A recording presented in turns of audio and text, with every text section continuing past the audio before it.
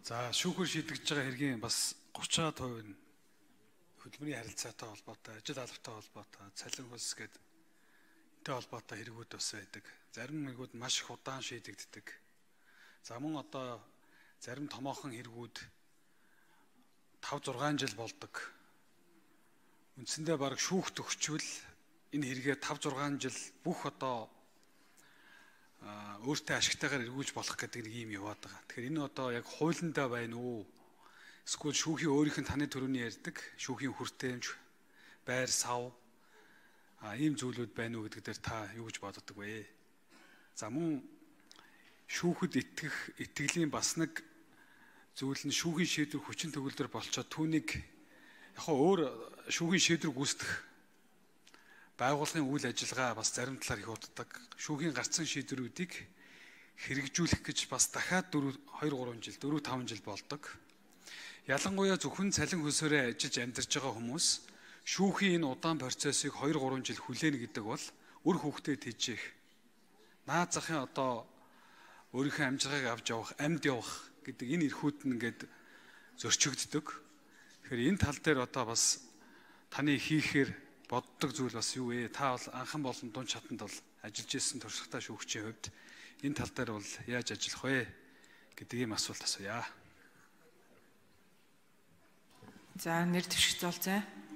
За Эрдэнэт гишүүний асуултанд бол хариулъя. За хөдөлмөрийн эрх зүйн маргаан бол нийт шийдвэрлэж байгаа хэргийн иргэний хэргийн бол 10%-ийг бол эзэлдэг. За түүнээс давзаалтах гомдол гаргаж байгаа бас хувь байгаа.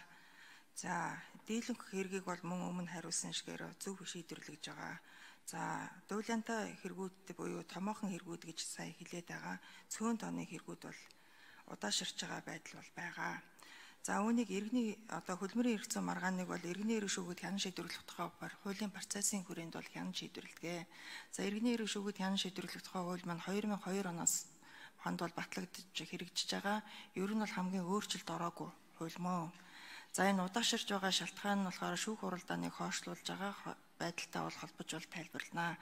За шүүх хуралдаан хойшлуулж байгаа үндслэл шалтгааныг бол жил бүр шүүхийн ерөнхий зөвлөл за шүүхүүд бол судалж бол гаргадаг. За шүүх хуралдаан хойшлуулж байгаа явдал бол шүүгч болон шүүхийн ажилтны үйл ажиллагаанаас бол хамаарч бол ер нь их хойшилдохгүй байгаа. Хэргийн оролцогч бас бол холбоотойгоор хойшилдог. За энэ нь болохоор хуулинд байна уу одоо хуулийн хэрэгжилтэнд байна уу гэдэг энэ асуудлын хүрээнд болохоор иргэний эрх шүүгүүд хян шийдвэрлэх тухай хуулинд бол одоо нэг өөрчлөлт оруулаад өгөөч гэж хүсмээр байдаг юм аа шүүгч нар. За энэ нь ямар өөрчлөлт юм бэ гэхээр урчилсан шүүх хуралдаантай болгоод өгөөч ээ. За урчилсан шүүх хуралдаантай болгоод өгөх ач холбогдол нь юу юм бэ гэхээр урчилсан шүүх хуралдаан дээр хэргийн оролцогч бол нотлох баримтуудаа үндсэн хуралдаанд орвол бүх нотлох баримтуудаа тохиролцоод авчдаг юм аа.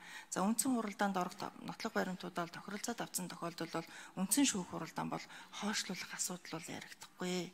Тэгэхээр ийм процессын ийм өөрчлөлт бол хийгээд өгөөч гэдээ бол шүүгч нар бол бас хүсэж байгаа.